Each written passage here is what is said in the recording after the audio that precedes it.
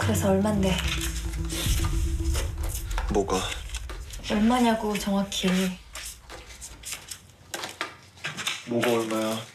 얼마를 갖다 쓴 거냐고 박구자한테!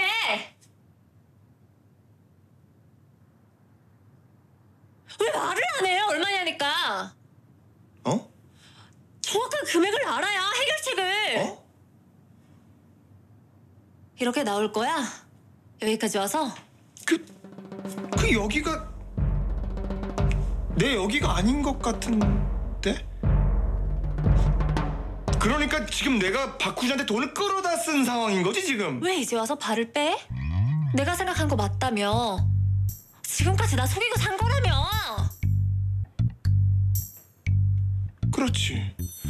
어, 그 사업에 좀 문제가 생겨서 그 돈을 좀 어, 어, 얼마 안 돼. 한, 한 10억? 뭐? 빌렸다가 9억 갚았나? 그래서 1억. 한, 한 이자 붙어서 2억? 2억 넘나? 넘지? 넘을 거야 2억? 2억 넘을 거야. 넌 네가 얼마를 갚아야 되는지도 몰라? 바보니 너? 아, 그게 아니고 국회의원 되면 다 퉁쳐준다 그래가지고. 그치. 그래서 나간 거지 국회의원. 갑자기 이상한 짓 한다고 했다. 그래서 바꾸자는 뭘 하려고 하는 건데 너 국회의원 만들어서. 나도 나도 거기까지는 확실히 잘 몰라. 그냥 시키니까 하는 거지.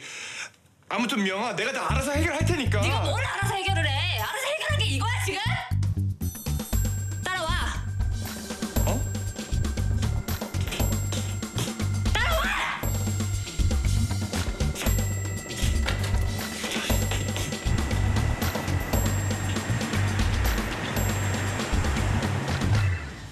지금 어디 가는 거야?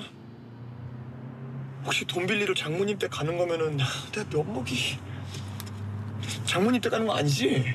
어?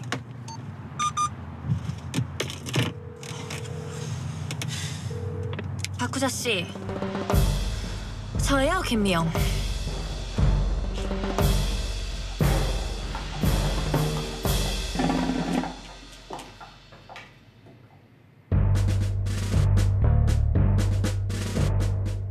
네 알아요.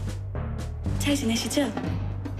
잘 못 지냈고요 박구자 씨 때문에. 아, 저기 미영아. 잠깐 봅시다. 지금 가고 있으니까. 김미영 온댄다? 네가 그 여자를 왜?